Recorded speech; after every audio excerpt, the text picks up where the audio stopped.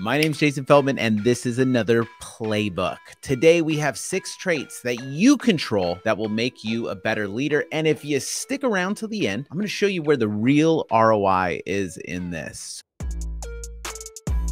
So let's dive into number one, the first trait that will make you a better leader, and that's your attitude. You know, showing up with the attitude that you want others in your agency to have is so important. Is it easy? Heck no. As an agency owner, you have everything on your shoulders, and there's a lot of things that are going wrong that day. There might be, you know, the family at home or whatever. There's a lot of stuff that can go wrong, especially when you're a leader and you have a, and you're in charge of a lot of stuff. But the most important thing thing is to not get sideways about it and to check your attitude and make sure that you are giving the attitude that you want to receive as well. If you want to receive a good attitude, then give a good attitude. It definitely comes first, the attitude of you. And it's so important for your team and your family and everything else for you to show up with a great attitude. The reason why I've talked about it is because I don't always show up with the best attitude, you know? Like, I'll be honest, and I don't. And that's something that I'm always working on because I know it makes a big difference. And it's not something that I'm always aware of. Sometimes I can just say a few comments and it just shows that, like, maybe he has a bad attitude or maybe my attitude gets questioned.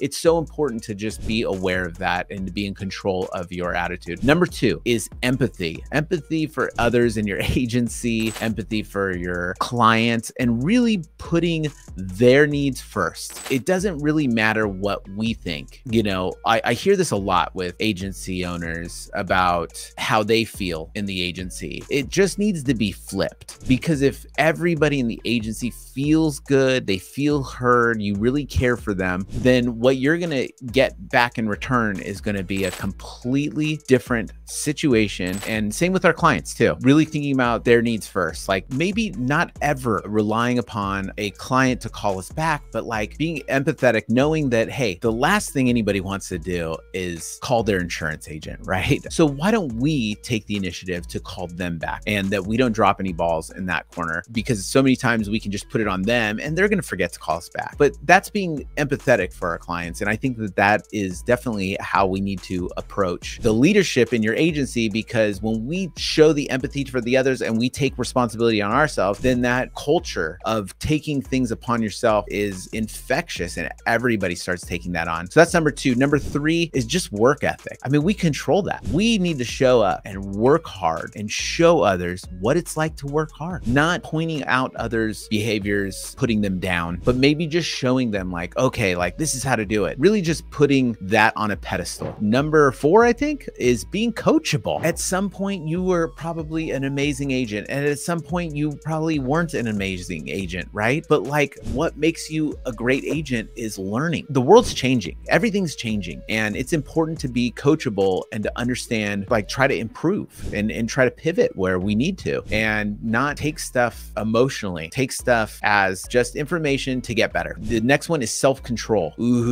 self control kind of goes along with a lot of the above, but really just exercising self control in all situations. That will also be something that others will pick up if they know that you have self control when you're around, and maybe even when you're not around, others will practice self control. The last one is being on time. I love this one because this is what we expect of our team. We need to do this as well. Like, time is so important. If somebody can get twice as much done in one day, that literally means that they're worth the amount of two employees. And if someone's squandering half their day, you're paying twice as much for that person. So, you being on time and showing how important that is will change the behaviors of your agency. Like, definitely have to respect others' time if you want them to respect your time. Now, here's the where the real ROI is on this. This is what we expect of our team, right? This is what we need to look for in our team. These six traits, it's a huge deal, very important. If they have all this stuff, then they are taking charge. They are the kind of employee that we want, right?